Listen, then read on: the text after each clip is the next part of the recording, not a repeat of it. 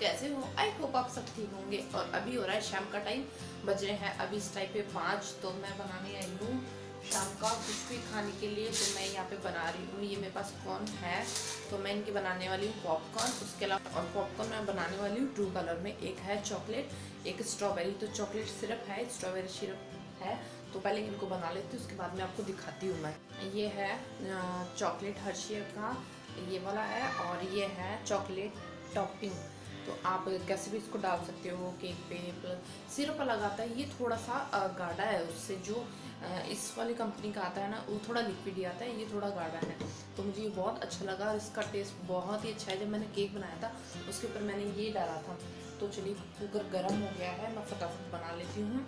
और ये वाला है, थोड़ा सा स्पाइसी वेजिटेबल फ्लेवर है मैगी, मक्का उतर के। तो कप नूडल है ये। तो मैं इसको वैसे बनाने के लिए लाई थी। इंस्टेंट कुछ भी बनाने वाला, मैं वीडियो बनाने वाली थी बट मुझे सारी चीज़ें नहीं मिली। तो मैंने कहा, चलो अब इसको बनाते हैं इसके साथ थोड़ा सा स्पाइसी होगा तो अच्छा लगेगा। देन ये है मीठा मीठा तो ये अच्छा लगेगा। उसके अलावा बनाऊँ चाय तो पहले ये रेडी कर लेती हूँ फटाफट। तो सबसे पहले ऑयल डालूँगी मैं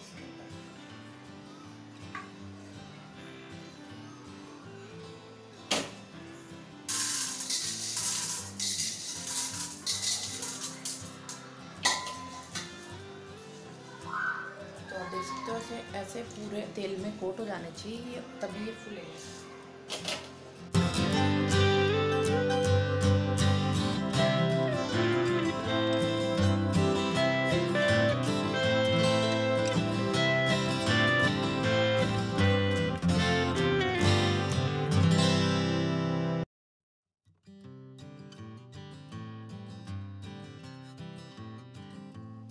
जैसा कि आप, मैंने अभी कुकर में आपको दिखाया था कि पॉपकॉर्न अच्छे से फूल गए हैं, सारे फूल गए अच्छे से। तो यहाँ पे मैंने चॉकलेट था, वो मैंने इसके अंदर डाल दिया पैन के अंदर और थोड़ा सा उसको मेल्ट कर लिया।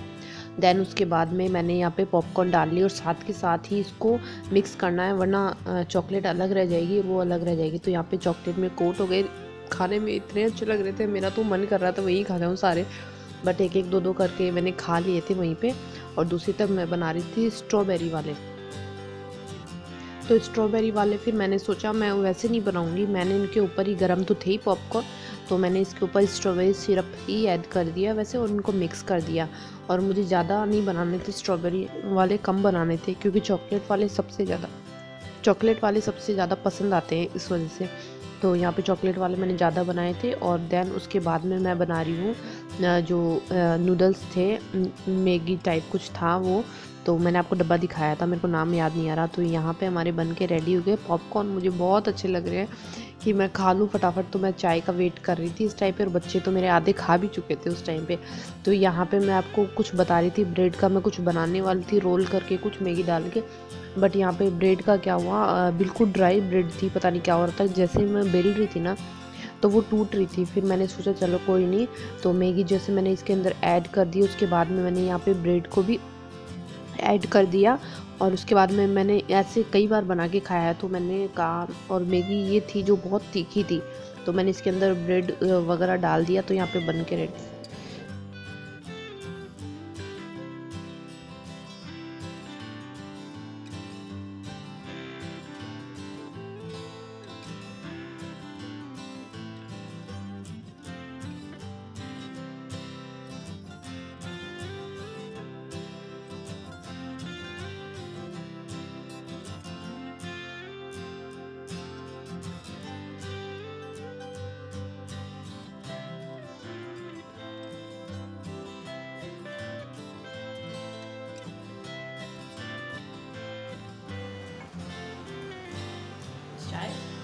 है नूडल्स तो मैंने इसके अंदर ब्रेड ऐड किया है और ये बनी हमारी चाय और नूडल्स